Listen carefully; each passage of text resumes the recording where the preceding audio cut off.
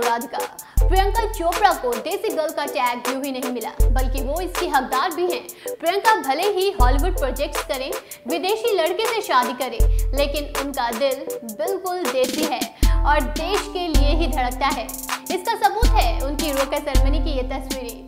प्रियंका ने बिल्कुल हिंदू रीति रिवाजों के साथ रोका किया, पंडित भी बुलाया और विधि विधान के साथ पूजा की। निक और प्रियंका ने ट्रेडिशनल कपड़े पहने।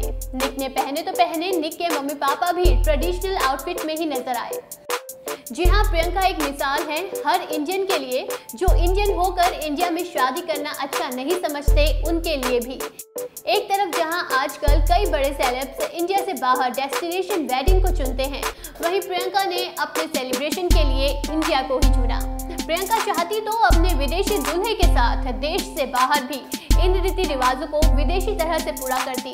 लेकिन रोके की ये तस्वीरें बताती हैं कि प्रियंका अपने धर्म और अपने देश से कितना प्यार करती हैं। एक तरफ़ जहाँ अनुष्का विराट ने इटली में शादी रचाई, वहीं अब दीपिका और रणवीर भी अपनी शादी इटली में ही प्लान कर रहे हैं। ऐसे में प्रियंका से इन एक्ट्रेसेस को सीखना चाहिए। और विदेश में पैसा बहाने के बजाय अपने देश को प्रमोट करना चाहिए। वेल आप प्रियंका के इस डिसीज़न को कितना सपोर्ट करते हैं, हमें कमेंट करके ज़रूर बताएँ। और प्रियंका लीग से जुड़ी हर खबर जानने के लिए बने रहिए हमारे साथ।